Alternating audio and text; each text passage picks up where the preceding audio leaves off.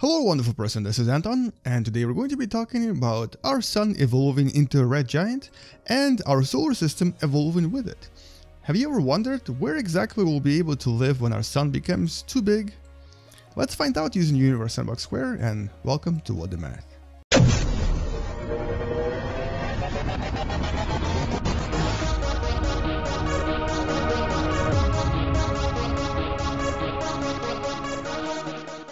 So in some of the previous videos, we actually simulated our sun becoming a very, very large red giant. Basically what would happen to our sun in about four and a half billion years from now. It's going to become so large that it's almost going to come to the edge of the orbit of planet Earth. And it's going to absorb these two planets, Mercury and Venus. This is what we think about uh, the evolution of stars like our sun, and we think that our sun will definitely go through similar steps as well. Now, I've also talked about uh, the potential habitable places in our solar system in a video that I made about a year and a half ago, but today I actually wanted to explore other objects. I actually wanted to see what other objects in our solar system will become habitable when our sun becomes super, super, super big. And it's going to stay that big for about a billion years. So maybe, just maybe, we might as well start claiming or staking a new home for ourselves. So how do we do this? Well, we're going to go in here. I'm going to uh, select the fixed mass for our, uh, our sun and start making it larger. First of all, let's make it grow about 10 times larger and then basically just increase its size manually just so you can see how it starts growing. Now, as it grows, its density is going to start decreasing, its temperature is going to also start decreasing, and it's going to start becoming like a big uh, fire blob. Not even not even a solar object anymore, just a blob, a cloud of fiery atoms, which is essentially what a red giant is. It's not you wouldn't really call it a star star, even though it is a star. It's more of a, just a blob of energy with a very central, very dense core in the middle. Now the core here we don't really see, but we see the blob itself. And actually that blob just swallowed Mercury, which was something that we think will happen to Mercury at some point. Venus is next on the list, and we think that it's also going to be swallowed as well.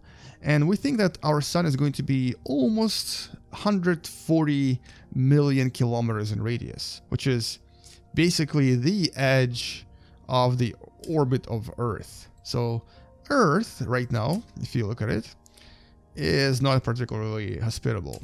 It's become a relatively hot place to live on, if you can live there at all. It's basically a, a big lava bowl. The temperature here, if you're wondering, is about 1800 degrees Celsius. Um, so right, so that's clearly not a place we'll be able to survive on. Where can we possibly find a new home? So we're going to zoom out of here and I can tell you right now, we can probably cross out Mars from the equation as well, because it's also going to be relatively hot. Uh, and Mars is somewhere right there. Let's go a little bit further. Let's actually add the moons to all of these objects. We're going to go into each of them and add their moons. And we're going to take a look at the moons of the other planets, basically. We're going to take a look at moons of Uranus and Saturn and Jupiter and Neptune.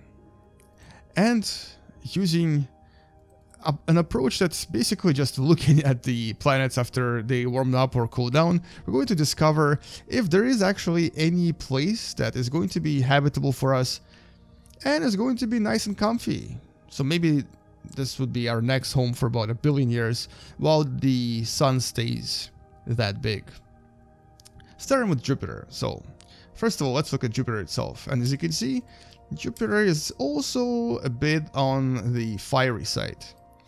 The temperature here is about 500 degrees Celsius, which also means that all of the moons of Jupiter, including of course the, the ones we think would be habitable, are also a little bit hot.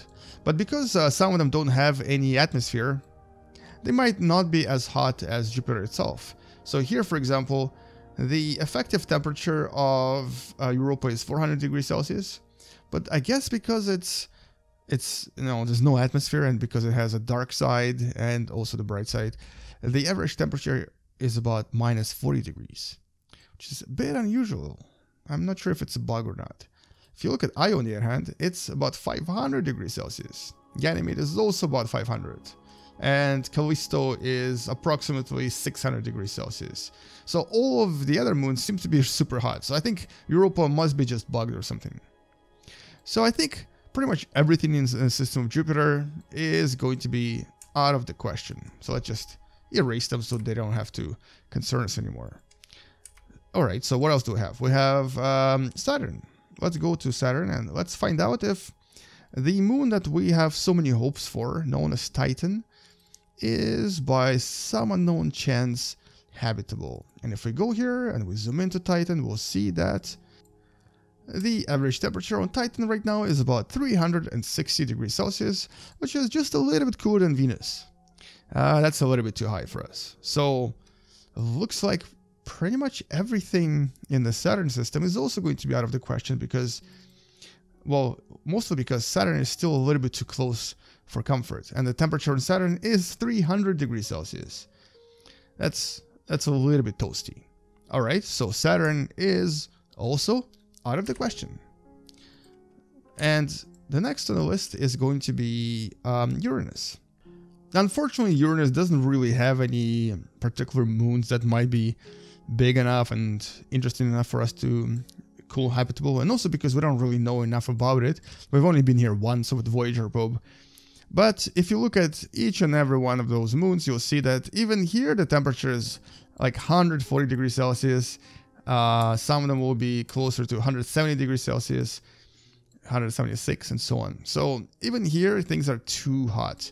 So the sun, even from this distance, is creating a lot of a lot of a lot of heat on the surface of these objects. So once again, looks like um, Uranus is also out. Neptune, you're the last planet we have. And Neptune actually has a very interesting moon, and that moon is called Triton. We think that this used to be a dwarf planet that was captured by Neptune because it's very, very large. And you see that the temperature here is actually minus 57 degrees Celsius. Now, Triton doesn't have any atmosphere, but let's say that for some unknown reason we were able to release one atmosphere of pressure similar to Earth. So now, let's see how warm this, uh, this moon gets. And right away you can see that it starts outgassing, starts losing the atmosphere, and the temperature skyrockets because the greenhouse effect here starts adding up and creates the average temperature of about 70 to 80 degrees Celsius, a little bit too warm. But so far, this is probably the best candidate for us to settle on. Uh, maybe some other moons of Neptune might be pretty comfortable too, but the average temperature in this system would be about 60 to 80 degrees Celsius. Still relatively hot. And so looks like we actually have to look at the area of the habitable zone. So because our sun has expanded so much, the actual habitable zone here is basically expanding even past Neptune. Objects like Sedna are in the habitable zone now. Objects like Makemake and Haumea are in the habitable zone. But even Pluto is inside the warmer area, warmer region of the habitable zone. So here, even on Pluto, if I were to add atmospheric pressure of about one atmosphere, even here, it's probably very likely that the temperature would be a little bit too hot for us to survive. So it looks like, so yeah, the temperature is 63 degrees. I mean, it would survive, but it would just be so hot all the time. You would need to have a lot of ways of cooling down pretty much constantly. And so it seems that it's really the outer dwarf planets, like for example, uh, Haumea, Sedna, and even objects like Orcus, which seem to have very comfortable temperature of 21 degrees Celsius, will become more likely places for humanity to actually live on, survive, and have comfortable conditions to call home. Now obviously there's no atmosphere here and a lot of these objects have a lot of water so they'll probably turn into liquid worlds filled with basically a lot of liquid liquid oceans on them. But that's kind of what we want anyway. We would love to have a lot of liquid water, right? Well, anyways, so that's kind of what I wanted to show you in this video. I wanted to demonstrate that in time, in 5 billion years from now, it's probably these objects that will become habitable to us. It's the objects on the outskirts of the solar system. And so even today, when we're looking at all of these stars that are actually red giants right now, like for example, the infamous Betelgeuse, it's probably um, more likely that we're going to find something habitable far, far away from those objects in what would be equivalent of the Kuiper's belt, not near those stars. And on the other hand, it's these objects here that will become habitable later on in our own future, in the future of our solar system.